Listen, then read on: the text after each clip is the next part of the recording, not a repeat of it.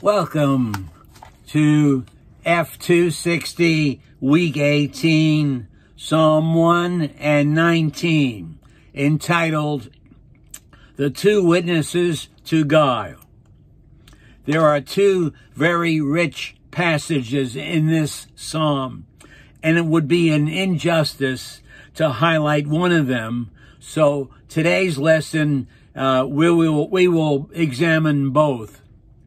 The first passage, uh, the highlight verse is Psalm 19, verse 1 to 3. the heavens declare the glory of God, and the firmament showeth his handiwork.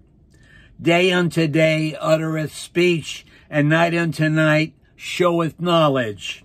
There is no speech nor language where their voice is not heard. Explaining this, the firmament, the visible heavens, the sun, the moon, and the stars being visible throughout the world. being visible throughout the world are making God's glory to be known everywhere.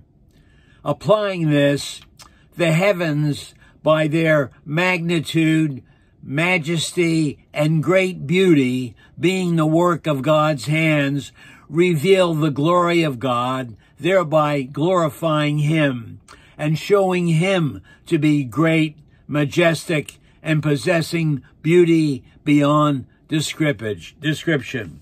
The second passage, uh, the highlight verse, is Psalm 19, verse 7 to 10.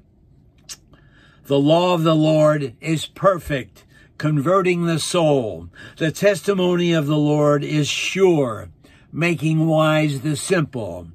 The statutes of the Lord are right, rejoicing the heart. The commandment of the Lord is pure, enlightening the eyes. The fear of the Lord is clean, enduring forever. The judgments of the Lord are true and righteous altogether.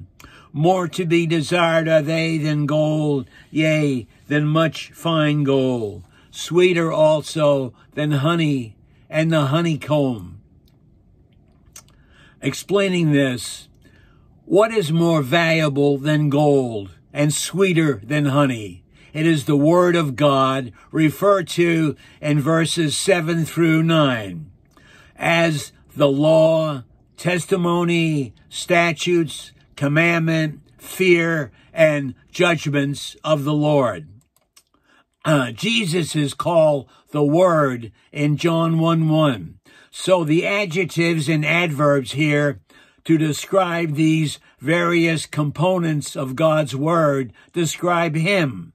For He is perfect, sure, wise, joyful, pure, enlightening, clean, eternal, and righteous, more to be desired than gold, sweeter also than honey my response. The firmament and the Word of God. These are respectively the material and moral realms of the world. Without the physical light of the sun and the moral light of God's Word, all life would fail. Amen. God bless.